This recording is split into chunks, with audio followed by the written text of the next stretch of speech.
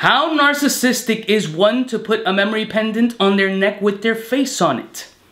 Very. Show my motherfucking music so we can talk about memory pendants and what things you may or may not do or if you even like them.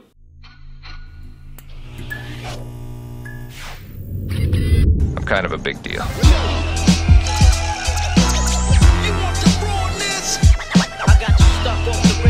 Blessed morning, my beautiful peoples. You know who it is. It's your boy, C3U3B3A. I mean, how extra do you have to be to put a memory pendant of your face around your neck with a chain that's named after you with the brand that you collaborate with? Very, and that is me. I'm extra. I just don't give a fuck about anything. I know very little about memory pendants. The rumor has it that Meek Mill was one of the first people to rock it publicly, and it started snowballing into an effect that everybody wanted a memory pendant and I think memory pendants are kind of fucking cool. In the space that, you know, you're remembering a loved one, you're wearing your child, someone has passed and you just want to keep a piece of them, so to speak. So you can get something like a nice sweet memory pendant or just get one with my face on it and we'll inscribe my name in the back and you'll be a lifelong friend.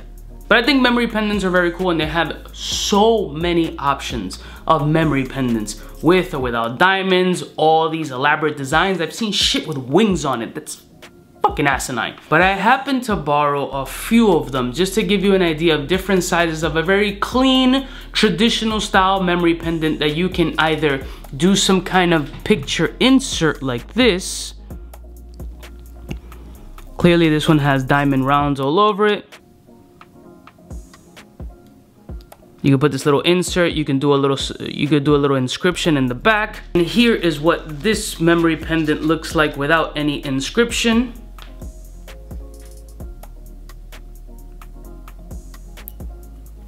You can do laser etching in the back. If the place is talented enough, they can do some wild elaborate designs and shit here. All laser capabilities. I mean, it's pretty much fucking endless. But this particular piece is 14 karat gold, 1.75 inches, 0.81 carats. So for like an extra 100 bucks or something like that, you can either get the laser inscription or you can do some sort of insert piece like this one. Now all these pendants are 14 karat gold with diamonds around them. Let's hit them with the diamond tester. These shits are small. Boom, diamond tester certified. And they come in various sizes. You can get something this size, I mean, which even doesn't look plain horrible. Like if they polish this center a little bit more so you can actually see somebody's face through it, I don't know. Or you can get a smaller variation like this one. So there's different size variations that you can get in memory pendants. And again, they get way more elaborate. So instead of getting something like this, which I have on the Ice link or what they call Guano link over at Daniel Jewelry Inc., you can get a small one like this. And hopefully you got a great accountant, small business LLC, and write this off as marketing. So someone like me can absolutely walk around with pendants of themselves.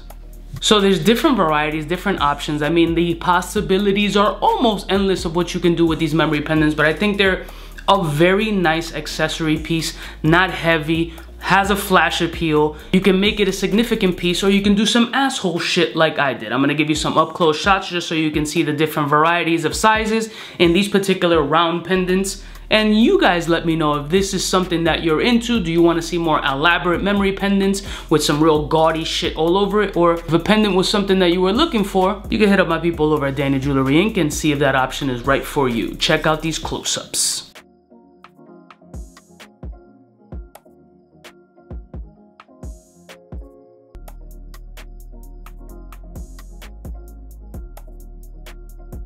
I mean, there isn't really much I can say about memory pendants. I wanted to get my hands on some just to see how they look, feel, and how they wear on neck. And I think it's actually a very beautiful accessory. It has versatility to do clearly whatever the fuck you want.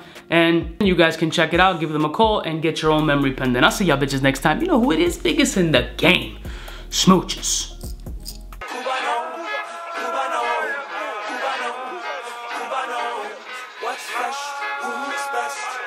One of them's gonna pass the test. Who For the fly gun holder, money folder, molar roller, start attack when it's time to call back.